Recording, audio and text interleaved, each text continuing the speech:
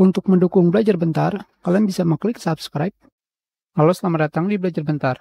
Sebelumnya, pada video game Honkai Impact 3, banyak yang mengatakan download aset, error, lambat, dan sebagainya.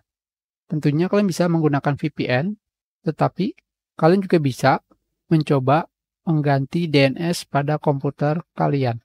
Caranya adalah pada ikon internet di sini kalian klik kanan, kalian pilih Open Network and Internet Setting.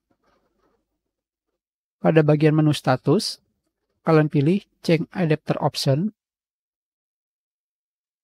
Selanjutnya, kalian pilih modem yang aktif. Kalian klik kanan, kalian pilih Properties. Selanjutnya, kalian pilih Internet Protocol versi 4. Kalian bisa klik dua kali atau klik Properties.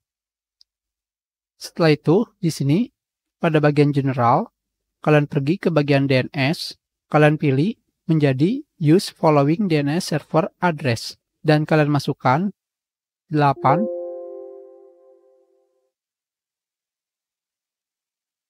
8, 8, 8. Dan alternatif DNS-nya adalah 8, 8,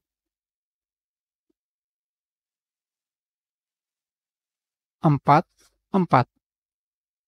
Setelah itu kalian klik OK. Klik OK kembali. Dan kalian coba kembali untuk mendownload aset pada game Honkai Impact atau jika koneksi kalian menjadi lambat ketika mendownloadnya. Kita sudahi, terima kasih.